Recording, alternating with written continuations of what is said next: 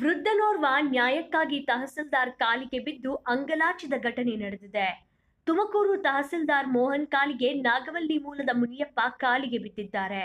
ಸರ್ಕಾರದಿಂದ ಮಂಜೂರಾಗಿದ್ದ ಜಮೀನಿಗೆ ಅಕ್ಕಪಕ್ಕದವರು ತಗಾದೆ ತೆಗೆದಿದ್ದರು. ಜಮೀನು ಸಮಸ್ಯೆ ಬಗೆಹರಿಸುವಂತೆ ಕಂದಾಯ ಇಲಾಖೆಗೆ ಅರ್ಜಿ ಸಲ್ಲಿಸಿದ್ದ ಮುನಿಯಪ್ಪ ನಾಲ್ಕು ವರ್ಷದಿಂದ ಸರ್ಕಾರಿ ಕಚೇರಿ ಅಲೆದು ಸುಸ್ತಾಗಿದ್ದರು. ವಿಲೇಶ್ ಅಕೌಂಟೆಂಟ್ ಆರ್ಐ ತಹಸೀಲ್ದಾರ್ ಕಚೇರಿಗಳಲ್ಲಿ ಅಲೆದರೂ ಸಮಸ್ಯೆ ಬಗೆಹರಿಸದೆ ಅಧಿಕಾರಿಗಳು ಸತಾಯಿಸಿದ್ದಾರೆ. ಅಧಿಕಾರಿಗಳ ವರ್ತನೆಗೆ ರೋಸಿ ಹೋದ ಮುನಿಯಪ್ಪ ಕೆಲಸ ಮಾಡಿಕೊಡುವಂತೆ ತಹಸೀಲ್ದಾರ್ ಕಾಲಿಗೆ ಬಿದ್ದು ಬೇಡಿಕೊಂಡಿದ್ದಾರೆ.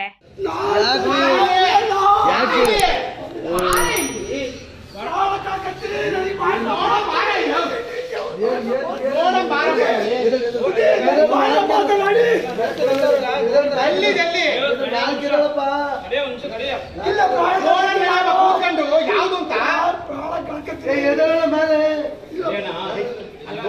ನಿಮಿಷ.